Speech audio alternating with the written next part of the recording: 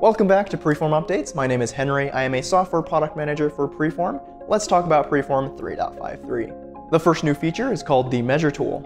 This is found in the upper right-hand corner of your viewport and allows you to quickly validate dimensions and clearances by measuring precise distances between any two points in your scene.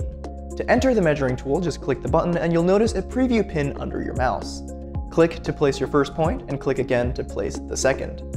Points can be placed within the same model or between different models in a build. To quickly switch between millimeters and inches, just click the toggle unit button over on the side panel. In that same side panel, you'll also notice that the X, Y, and Z components of that measurement line are broken down to help measure distances along the axes. These values can all be copied to your clipboard by clicking the copy button.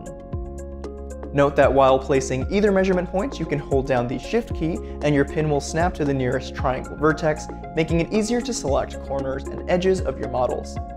These points will stay on your models as you translate, rotate, or scale them, and the measurement will dynamically update live. This tool can be used to validate clearances between parts, minimum feature thicknesses. This can be used alongside the section and all axes feature from the last release to help you measure hard to reach areas of your models. The next feature, as you may have already noticed up here in your viewport, there is now a viewer cube. With this, you can navigate the scene and quickly jump to standard orthographic views. Next, we added model grouping for SLA.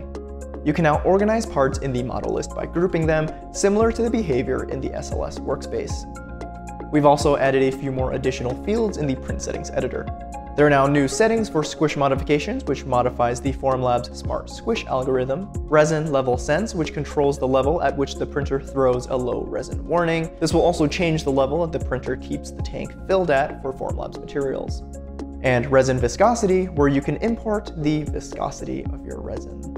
And that is every new feature in Preform 3.53. As always, please share your feedback through the feedback button, and I encourage you to start discussions around certain topics, feature requests, or questions on the Formlabs forums. Thank you for watching, and as always, we'll see you next time.